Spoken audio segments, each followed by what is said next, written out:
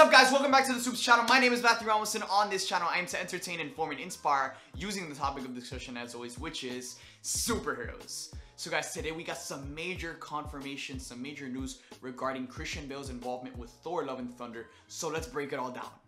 So we've known for a while now that Christian Bale, the actor that played Batman in his own trilogy, has signed on to Thor Love and Thunder. However, we didn't know who he was playing. A bunch of people were speculating Beta, Beta Ray Bill, others were speculating a mysterious character, and others were speculating the the main villain of the movie. And today we have confirmation from a direct source that's a part of the movie in Tessa Thompson, the actress who plays Valkyrie and who will be in Thor Love and Thunder, recently confirmed in an interview that Christian Bale has signed on to play the main villain of the movie. Now keep in mind that Thor Love and Thunder will focus on Jane Foster becoming the next Thor. So this movie is going to have a powerhouse team. I mean, not only could we potentially get a Guardians of the Galaxy cameo, as Thor right now from the last moment we saw him was with the Guardians of the Galaxy, but you're gonna have two Thors in the movie. That is a major powerhouse team. So whoever the villain is going to be, it's going to be someone that can handle some major heat. And I believe without a shadow of a doubt that Christian Bale will be playing Gorr the God Butcher in Thor Love and Thunder. For those of you who don't know who Gorr the God Butcher is, Gorr is an alien that set out on a conquest to kill all the gods in the universe after the gods failed to protect his kind from extinction.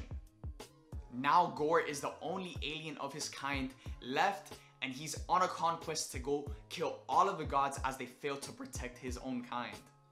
In the comics, as Gorr was on his conquest to kill all of the gods in the universe, he had a whole lineup of gods that he had already killed, but he killed a god in the Americas on Earth and the body washed up and Thor found it with on Asgard on Earth.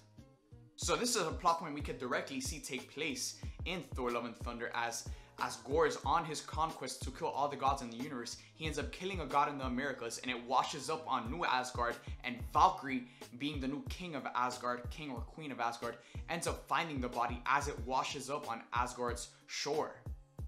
And hear me out here, because if Christian Bale is really going to play Gorr the God Butcher, this could be the movie that connects the Sony Spider-Man universe and the Marvel Cinematic Universe. Because, hear me out, Gorr got his powers from a god that was dying and a symbiote bonded with Gorr, creating the Necro Sword, which is one of the most powerful weapons in the universe. And the Necro Sword and the symbiote, it bonded with Gorr, and that's how he gained his, the power to kill and slaughter gods. So with Gorr's main weapon being the Necro Sword that is constructed out of a symbiote, this directly connects to the Sony Spider-Man universe. Because what if the Venom symbiote itself is one of the offsprings from the symbiote that bonded with Gorr? Like this is way bigger than we think it is. Because we know that from Venom that the symbiote came from a planet of symbiotes, which that's how it is in the comics.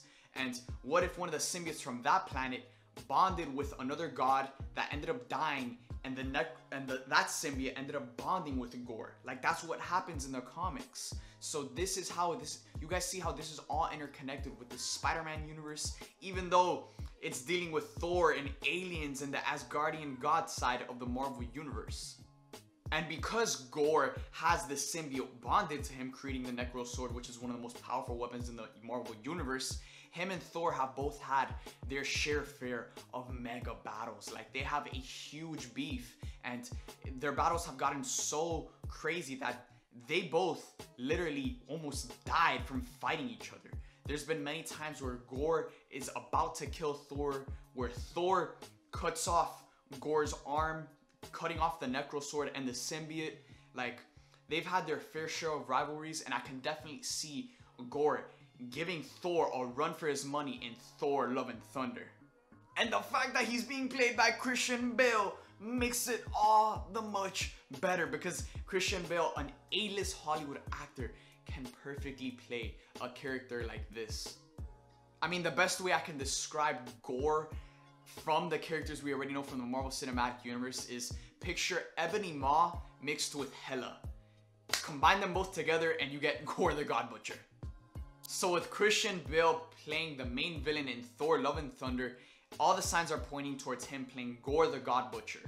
Gorr, again, just to recap, Gorr is an alien who was raised to believe in gods and worship gods, but after his whole alien race was wiped out, leaving him as the last one of his kind, he ended up finding out that the gods just never did their job in protecting his kind. So then he set out on a conquest to avenge his kind and slay all of the gods in the Marvel Universe. So best believe that Gorr is coming for his revenge against Thor in Love and Thunder. And I just cannot wait to see the action sequences with Gorr and his Necro Sword versus Thor and Stormbreaker and Jane and Mjolnir.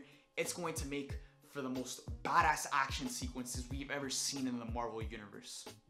So let me know what you guys think about all of this information in the comment section down below. Make sure to hit that bell notification on my channel to get notified when videos like this go up about the future of the MCU. So thank you guys for watching this video. I hope you guys enjoyed it and I'll see you guys next time.